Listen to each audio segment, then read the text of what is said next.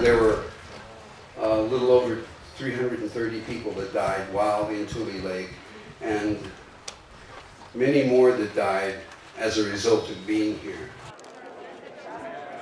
And this land here needs to be remembered. It represents an ongoing battle of resistance